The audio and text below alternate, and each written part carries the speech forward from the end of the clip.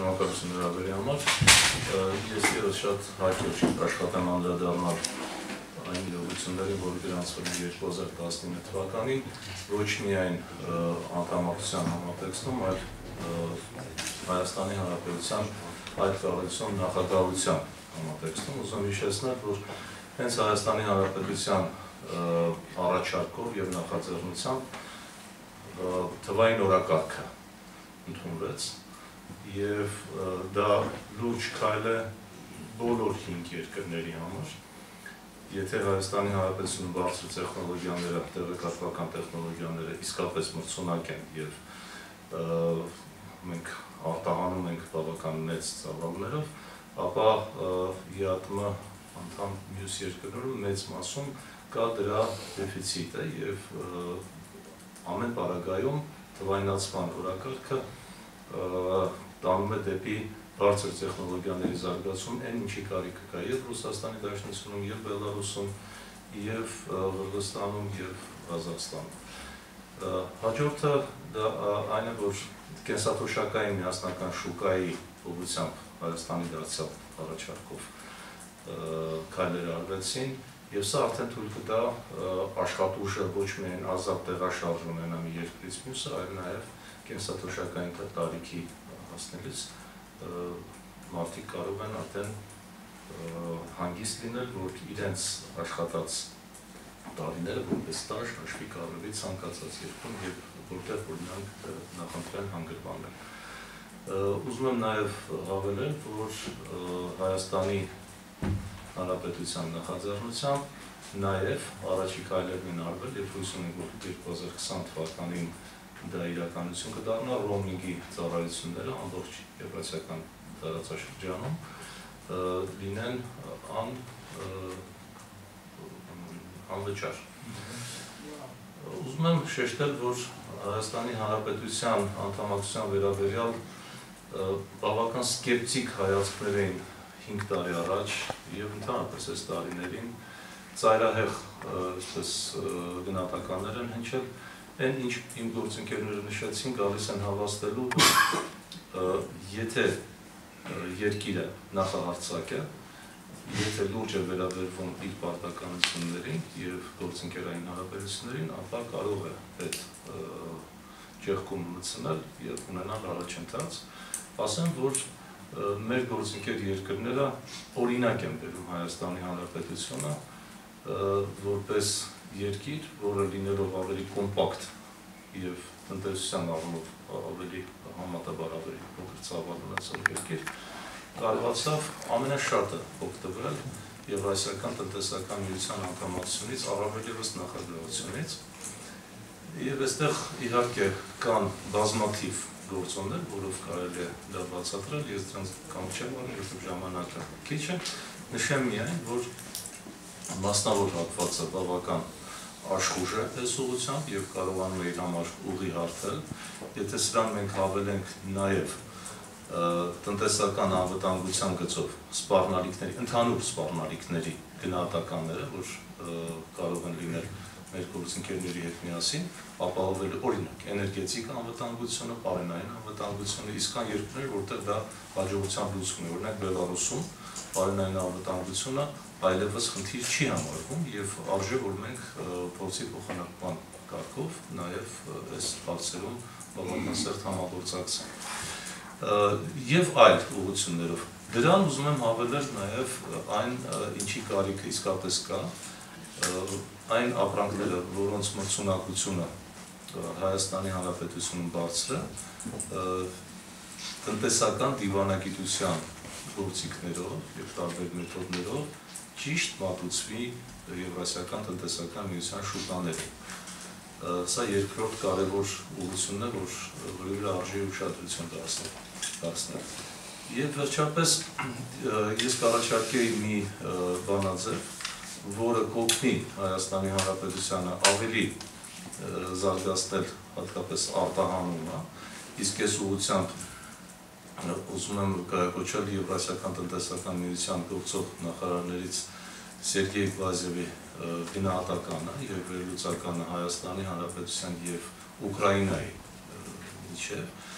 նա 5 տարիների ընթացքում հաշվարկ է կատարել եւ նկատել է, որ արդյունաբերական արտադրությունը նվազել է 57%-ով Ուկրաինայում, ինչտեղ Հայաստանի Հանրապետությունն նույնքան բարձրացել է, եւ դա հիմնականում մեզ համար ուրախալ է, որ վերամշակող արդյունաբերության։ Այստեղ ուզում եմ մի շատ կարևոր հանգամանք շեշտել, երբ մենք խոսում ենք արդյունաբերության զարգացման տեմպերի մասին, ուզում եմ հաշվի առնենք, որ 2019 թվականը այնուամենայնիվ կախվածությունը որոշ չափով թոթափվել է ամուսարից, իսկ այնտեղի ընդհանրապես լեռնահանկային արդյունաբերությունից, որտեղ դա բավական մեծ բաժին էր կազմում եւ դրա բացակայության պայմաններում ունենալ նման տպավորիչ աճ արդյունաբերություն կարծում եմ որ արժանի է ուշադրության Գլազիևի գնահատականն այն է, որ ներդրումներն են նաև ավելացել Հայաստանում նույնքան չափով գրեթե նվազել են Ուկրաինայում, թեև մենք շատ լավ հասկանում ենք, որ ներդրումների մասով մեր ակնկալիքները շատ ավելին են եւ իհարկե ոչ միայն օտարերկրյա ուղղակի ներդրումների մասով, այլ նաեւ ներքին ներդրումների մասով։ Այնուամենայնիվ փաստում է փաստ, որ իհարկե անհամադրելի են հզորությունները տնտեսությունների Ուկրաինայի եւ Հայաստանի, բայց տոկոսային հարաբերակցությամբ այս ցուցանիշները խոսում են այն մասին, որ Հայաստանը ունի բավարար ներուժ առաջին դասի համար եւ ահա ես եզրափակելով իմ ներածական խոսքը ուզում եմ գալ այն բանաձևին, որը կարող է Հայաստանի համար օգտակար լինել, դա հետեւյալն է, մանավանդ որ կան նախանշանները համաշխարհային տնտեսական հերթական ճգնաժամի, այսպես ասենք, եթե դա 2025-ին է, ապա 21-27 թվականներին գնալով դանդաղում է աճի տեմպերը եւ կարելի ասել, որ որոշ շապով դա անխուսափելի է լինելու իսկ զարգացող այնպիսի երկրի ինչպիսին Հայաստանն է, դա եւս մեկ առիթ է օգտվելու ընձեռված հնարավորություններից Հայաստանի պարագայում ինչ կարող է օգտակար լինել։ Հունք արդյունահանող եւ արտահանող երկրներից, ինչպիսին եվրասիական տնտեսական միությունն է եւ հետխորհրդային տարածք ընդհանուր առմամբ ներմուծել հնարավորինս ավելի մատչելի գներով հունք, նյութեր եւ զարգ տալ վերամշակող արդյունաբերությանը եւ դա ուղղել դոլարի գոտի, եվրոյի գոտի այնտեղ, որտեղ պահանջարկը մեծ է եւ գնալով ավելանալու է, այսինքն մենք պետք է իհարկե ամեն ինչ անել, որպեսզի Հայաստանը վերագտնի իրեն, այստեղ ես ուզում եմ իսկապես հավաստել, որ ունենք բոլոր հնարավորությունները նոր ինդուստրիալ երկիր դառնալու 21-րդ շնորհակալություն։ Շնորհակալություն, եկեք հարցերով շարունակենք։ Ես մի հարց ունեմ, պարոն Մանասարյան, խոսվեց այն մասին, որ գյուղատնտեսությունից բացի մնացած ոլորտներում դրական տեղաշարժ է նկատվում։ Ձեզ ինչով է պայմանավորված գյուղատնտեսության ոլորտում ունեցած պատկերը եւ ինչ քայլեր պետք է ձեռնարկվեն, որպեսզի դրական դինամիկա տեսնենք։ Մասնավորապես վերջին շրջանում պետությունը ակտիվորեն ապահովագրության ծրագիրն է ներմուծում այս ոլորտում, դա ինչ ազդեցություն կարող է թողնել։ Ես կարծում եմ, որ գյուղատնտեսության ոլորտը մեզ համար առանցքային նշանակություն ունի, ոչ միայն ընդհանուր գյուղատնտեսության գյուղ ասելով, այլ նաև հայկական գյուղը բարձրացնելու եւ այ գյուղացում սատարելու առումով ես նաև այստեղ կանդրադառնայի հետեւյալ հանգամանքին, որ անհրաժեշտություն կա անկումը կրճատելու համար եւ դեպի զարգացում տանելու համար ոչ միայն ապահովագրությունը զարգացնել, իսկ այստեղ իհարկե դեպատանքի արժանի այն, որ պետությունը կիսում է ապահովագրական ռիսկերը, առանց դրա որևէ ապահովագրական ընկերություն դժվարություն կունենա։ Շատ կարևոր եմ համարում վերջապես Հայաստանում մշակել եւ իրականացնել ագրարային քաղաքականություն։ Սա շատ էական նշանակություն ունի։ Թիրախավորել սկսած բարենային անվտանգությունից եւ վերջացրած ըստ համայնքների, ըստ տարածքների քարտեզագրում,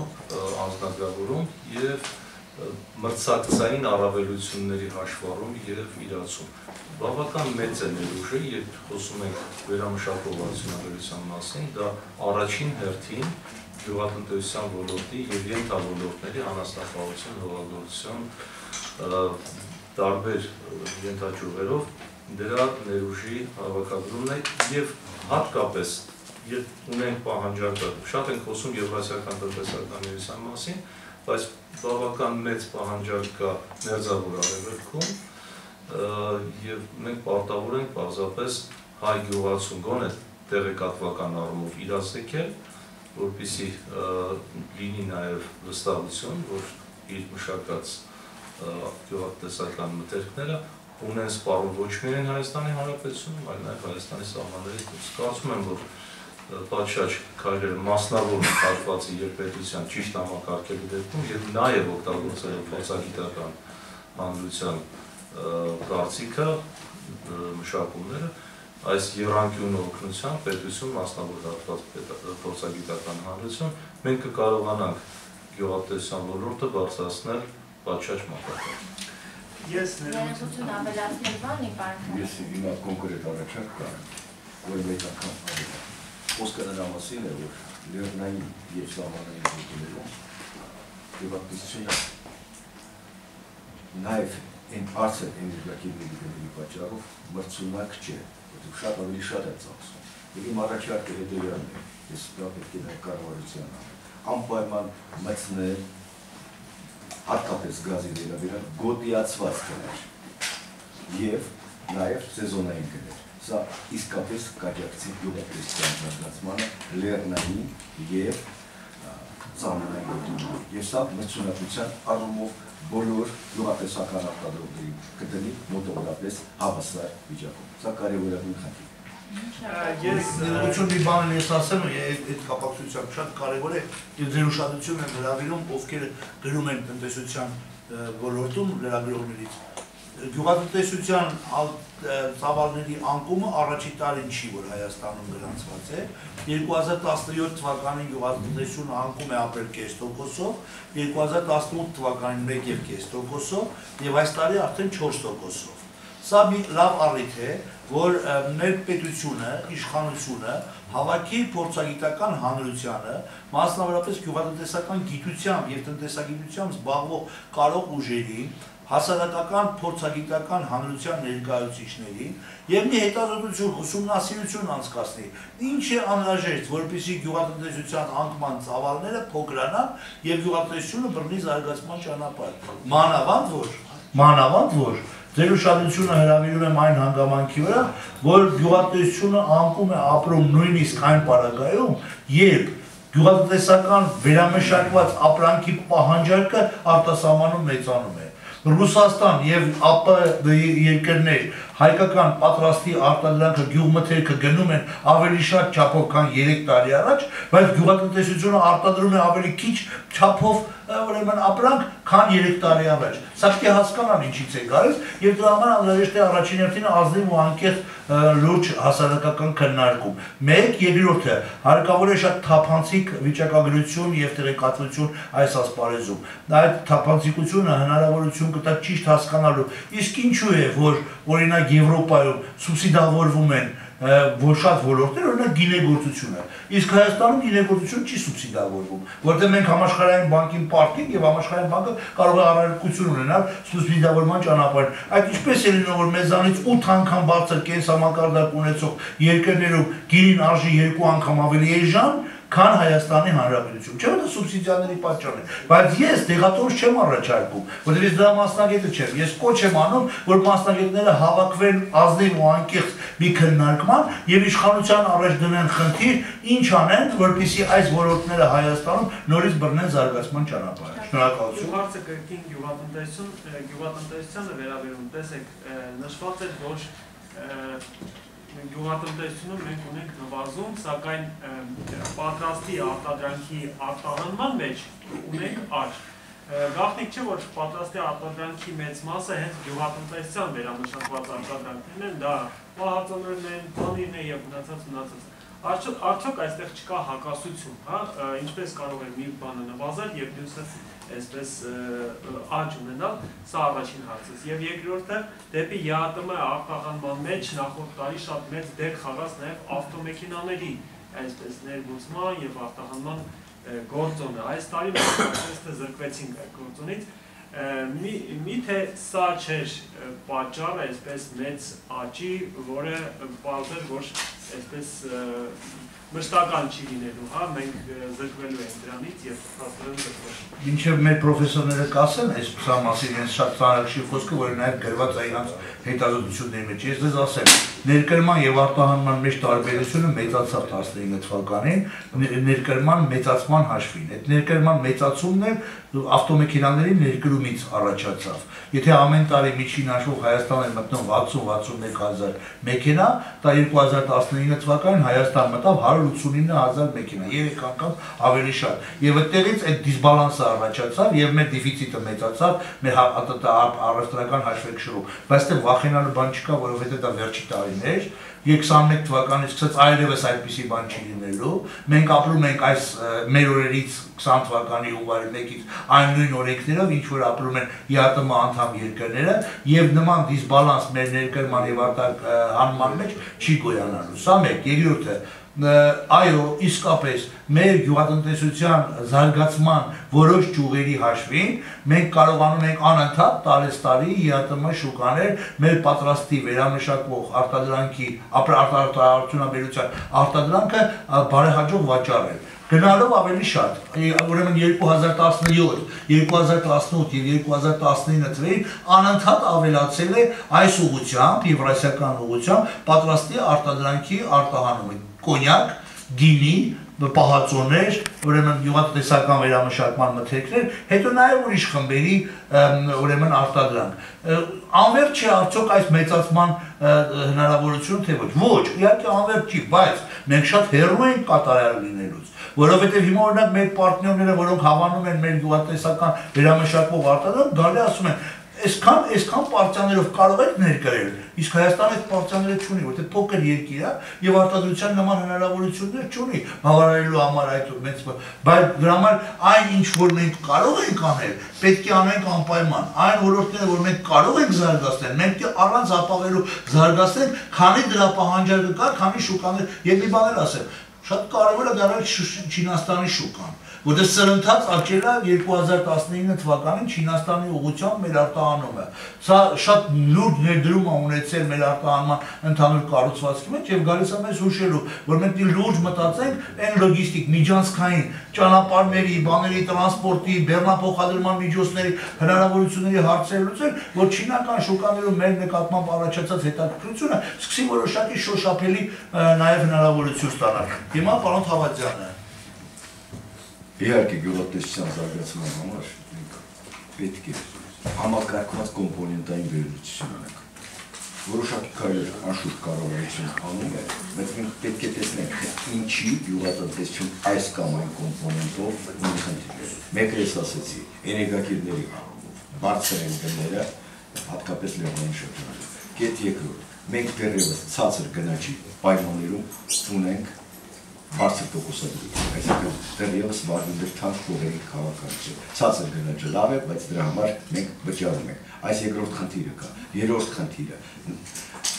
պատրաստի արտադրանքի գյուղատնտեսության, հա, այսպես ասած, հասցնել ասպարողին, այստեղ ունենք լուրջ խնդիրներ։ Այս խնդիրները մենք պետք է լուծենք։ Իհարկե լավ է, որ սուբսիդավորվում է, խնդիրը այստեղ չկա, ապահովագրության խնդիրներն են լուծում, բայց կոմպոնենտային վերլուծությունը այստեղ խիստ անհրաժեշտ է։ Իսկ ինչ վերաբերում է արտահանման աճի իդեալից, եթե համախառնողի արդյունքի ցուցանիշը ունի որոշակի սուբյեկտիվություն, ապա արտահանման ցուցանիշը հստակ ցուցանիշ է, նա գրանցում է ոչ միայն մեր վիճակագրությունում, այլ նաև այն երկրում, որտեղ ապրանքը դնում է։ Եվ պետք է ասել, որ իհարկե արտահանման տեսանկյունից խնդիրները լուծվել են եւ լուծվում են, այդ իսկ պատճառով մենք ունենք այստեղ պլյուսեր։ Ես իմ հարցը հակասության մասին է։ Եթե Եթե թույլ կտակ ես դրան անդրադառնամ իմ։ Ինչպես կարող է կոնյակի արտահանումն ավելանալ։ Տեսեք, նախ ուզում եմ անդրադառնալ այն հարցին, որ ներմուծումը ավելացել է կամ դիսբալանսը առևտրային ավելի կոնկրետ լինելու համար ասեմ 51% է կազմում մեր ներմուծման աճը, որը աննախադեպ է եւ սրա մեջ անշուշտ հենց այդ ավտոմեքենաների խնդիրն է բայց նաեւ ներմուծման կառուցվածքում եթե ուշադիր նայենք, ապա մենք ներմուծում ենք գյուղ մթերքներ, որոնք այլապես կարող ենք արտադրել։ Այսինքն ներմուծման փոխարինման քաղաքականությունը տարիք ունի լուրջ ուշադրության, ունենք ընդհանրապես երկու ուղղվածություն՝ ներմուծման փոխարինման քաղաքականություն եւ արտահանման